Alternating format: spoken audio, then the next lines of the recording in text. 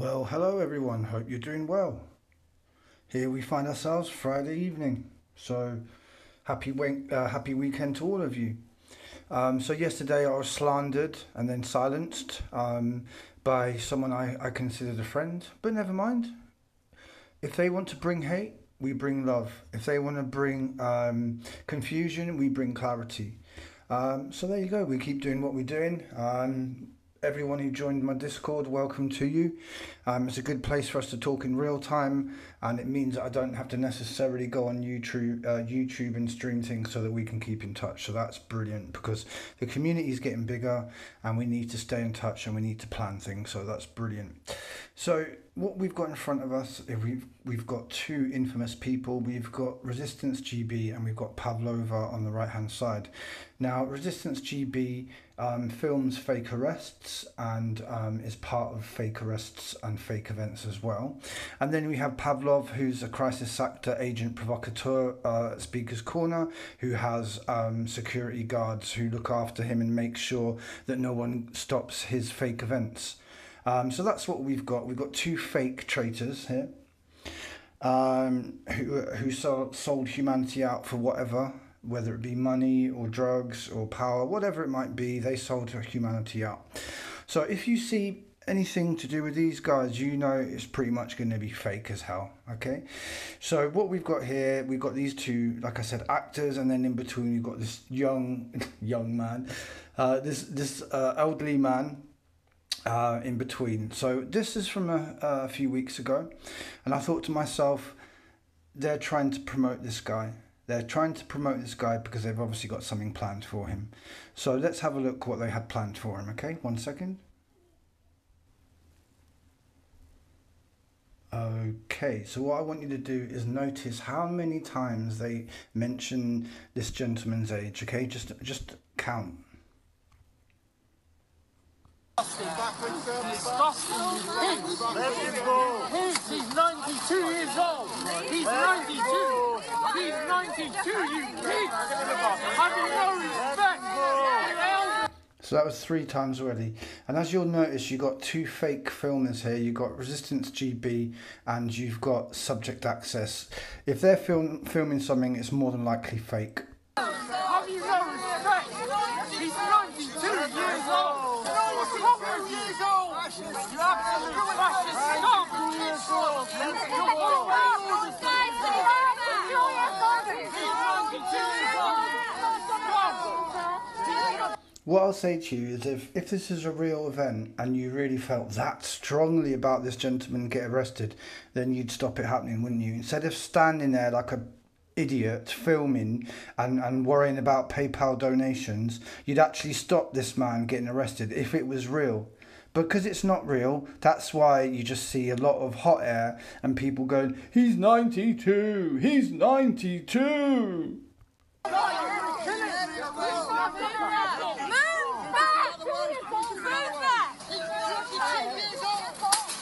Let him go. Unbelievable.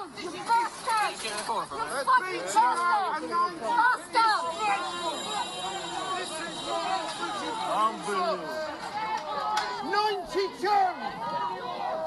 He's 92, by the way. I don't know if you've picked that up by now, but apparently he's 92. Um, what I would personally say is I doubt this very much would happen for the simple fact that they don't know the gentleman's condition. He could have a, a heart condition, and this kind of trauma could cause him to have a heart attack. So, me personally, I believe they wouldn't do this. Uh, if they wanted to arrest people, they would arrest people who aren't going to possibly have a heart attack. And actually, they'd arrest everyone there, not just pick on one elderly, vulnerable man. That's why I call it for bollocks. That's why I call it for a fake staged event. He's 92. Oh, there you go. And here's someone I didn't realise was there. See this good-looking chap here with the with the golden uh, phone cover, yeah. The one who looks a bit Israeli. Um, yeah, that's Crypto Guy, who's friends with uh, Immortal Alien, who walked around with the COVID 19 as a hoax sign right at the start of the Battle of Trafalgar Square. And then on the occasion where Subject Access filmed Grey Bleeder supposedly get assaulted by police, Crypto Guy was there as well, uh, trying to break through police lines. So that's funny because I didn't notice him until now.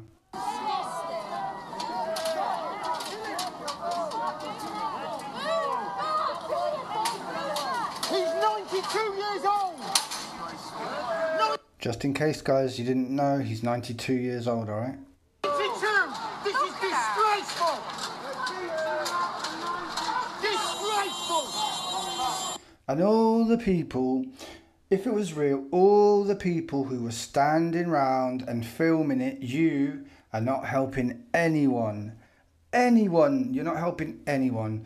If it was real, you'd probably give this old man a panic attack just for the simple fact that you swarmed around him like locusts and you're not giving him any uh, space to breathe.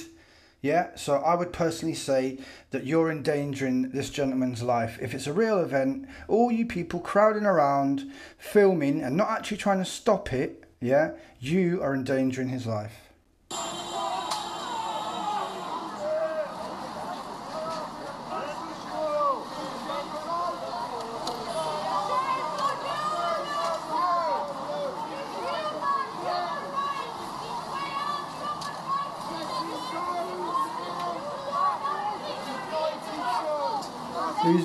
He's 92. He can barely stand. Let him go.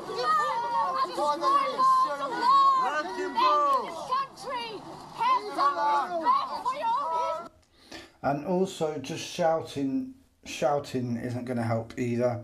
Shouting, crowding round, not allowing, not allowing people to gain, uh, to move around freely is causing uh, causing problems.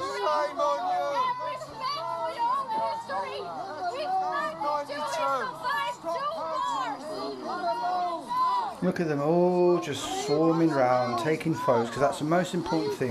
The most important thing is that you take photos. It's not to stop him, it's not to worry about his welfare, it's not to, you know, make sure the police can't do this, but it's just to film. That's all you do.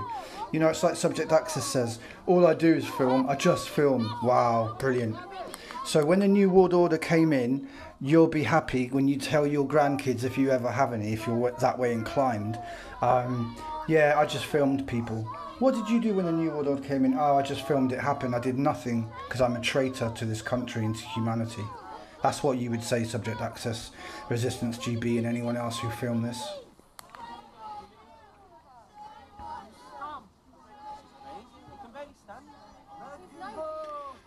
So, nearly three minutes so far of this rubbish. Yeah? And like I said, I don't believe it's real. Okay? So, let's have a look at some more context, yeah?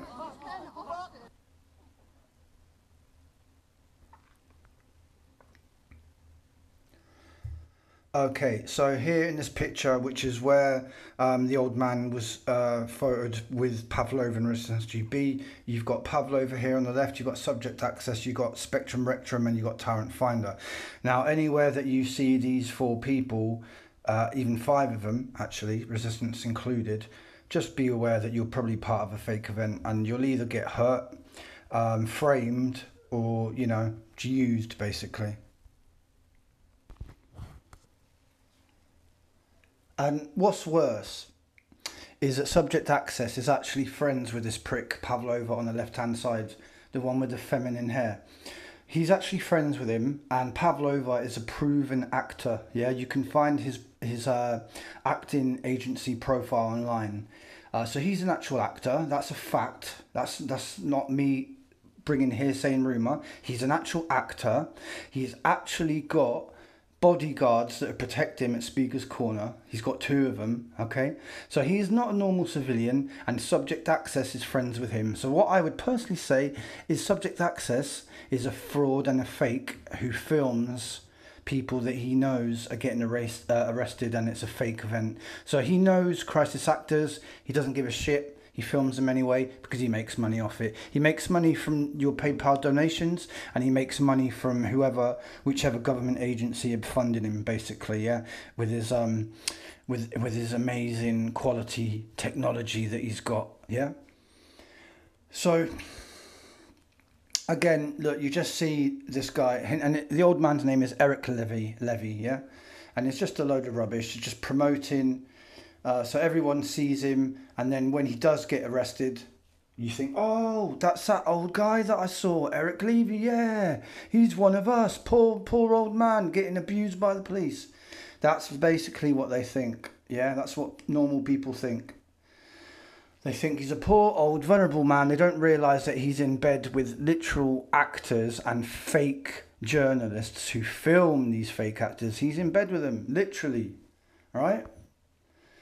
Um, you know, from the same stable as this lady here who decided to come on my panel and tell us how, you know, she wasn't a crisis actor, and even though that she'd had this traumatic experience, she was ready to sit there for hours and hours and hours answering my questions and other people's questions. Um, and I suggested to her, look, the effort that you're putting into this suggests to me that you're getting paid for it because we could go here for hours and you would just stay here um, answering these questions. And I also said to her, look, if this happened to me or my missus, the last thing that I would say to them is come on a panel full of strangers and tell them exactly what went on. Uh, it's not something I would really recommend, personally. So here's a picture of the old guy's um, arrest, as you can see. It's just perfect, isn't it? Look, poor old guy, vulnerable old guy, can barely even walk, and look what they're doing to him. And what I find hilarious, all right, is what they say here in the paper. A man carrying an Asda Eco jute bag is led away by police. Right? So yeah, I just find it very interesting. They don't even mention the guy's name, even though he's actually you can actually Google his name and find out information about him, which I'll show to you in just a second. So they don't even name the gentleman. They just say a man carrying an Asda Eco jute bag, as if that's the most important thing. Why would they go to the effort of telling you what kind of bag he's got? Why are they why are they promoting Asda? it's just I don't get it. I literally don't get it. It's like, is this some kind of joke? Yeah? You're telling us that some old man gets arrested by the police brutally, yeah, for no reason, uh, but you have to tell us that, um, you know, he's got an Asda Eco jute bag. I'm speechless, guys. So anyway, like I said, you can Google this guy and you'll find some hits about him, yeah? Because supposedly he's an anti-war campaigner. Yeah, peace campaigner. So here you see a picture of him. Yeah. Um. So there's there's one thing, and here he is again. Look, right outside Ten Downing Street. Here he is on the right hand side. Yeah. So he's obviously got some kind of history in all this.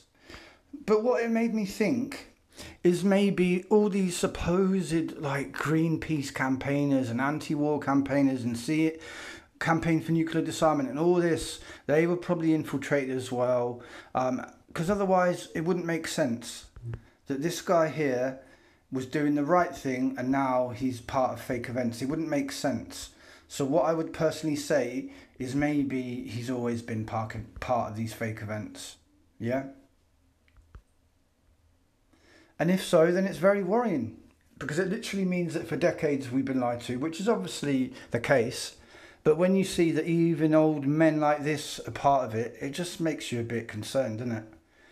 And like I said, the most important thing for the Daily Mail was to tell you that this man had an Asda bag. but you know what? On the bag itself, it doesn't even say Asda. So if you look at the bags, you wouldn't know it's Asda. It's only the fact that they literally told you it's an Asda bag, even though it doesn't say on it. it's just crazy to me. It's fascinating. What I mean, what? What is going on? You get pushed by these two fakes who film fake arrests and are part of fake arrests and fake police scuffles, etc.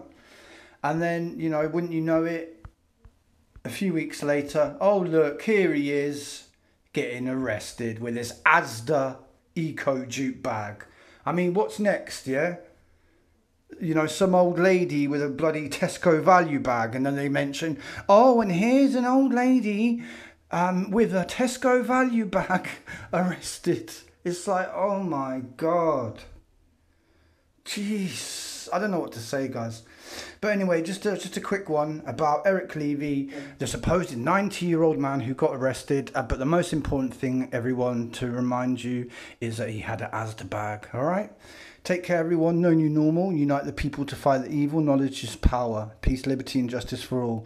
Big up to Dean and Rich. Thanks for all your kind words yesterday. I really appreciate that, and so does my family.